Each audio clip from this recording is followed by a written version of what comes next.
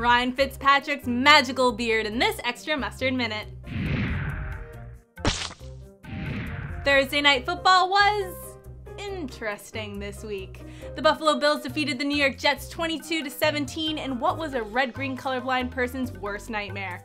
If you're not sure what that would look like, let's bring out Bills QB Ryan Fitzpatrick's magical beard. Like his receiver Brandon Marshall, just give it a little tug and voila! This is what it would look like to watch the game if you were colorblind. Want to see what it would look like if you keyed out the green and had the Jets wear Hawaiian print? Just pull the beard and Mele Kalikimaka. And speaking of Christmas, Christmas lights! It's Fitz magical. You know what? A lamp that looks like Fitzpatrick's magical beard would be an amazing gift this holiday season. It'd be a major award. What do you think about that gift, Rex?